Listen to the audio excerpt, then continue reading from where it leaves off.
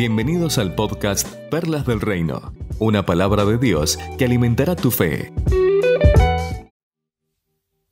¿Sos una persona que mm, olvida fácilmente o sos muy memorioso, memoriosa? Todo lo recuerda, recuerda todos los detalles.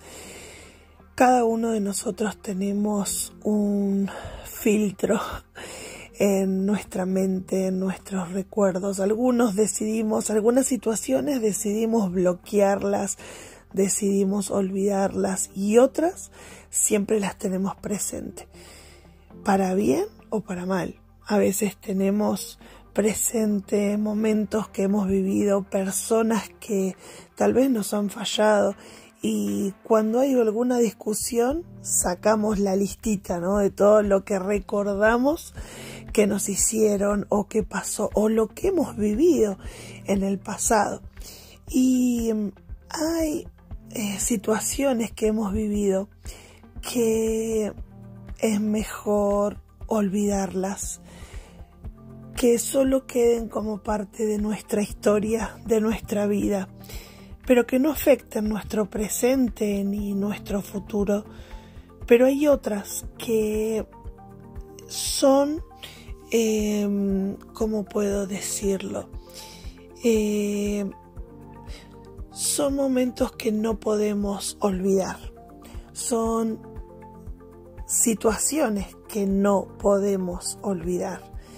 Y si tendría que ponerles un título, tendría que poner prohibido olvidar y hacer una lista de esos momentos en los cuales creíamos que no íbamos a poder salir adelante y sin embargo Dios obró a nuestro favor, Dios estuvo con nosotros, estuvieron esas personas que amamos a nuestro lado y esas son las situaciones que no debemos olvidar, que es prohibido olvidarse. Mira lo que dice en Primera de Samuel, en la Biblia, en la palabra de Dios, en el capítulo 17, en el versículo 37. David estaba hablando. Era un, un joven, todavía no había llegado a ser rey. Y él dijo, el Señor que me libró de las garras del león y del oso, también me librarán del poder de ese filisteo. Anda pues, dijo Saúl, y que el Señor te acompañe. Si nosotros recordamos los milagros que Dios hizo en el pasado y lo reconocemos con ese asombro, con un corazón agradecido, nos vamos a dar cuenta que en el próximo desafío que tengamos que enfrentar, no lo vamos a hacer con miedo o con preocupación.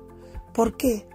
porque puedo recordar la fidelidad de Dios en el pasado, puedo recordar cómo Dios estuvo conmigo. Entonces, este desafío que viene por delante, también lo voy a vivir con Dios.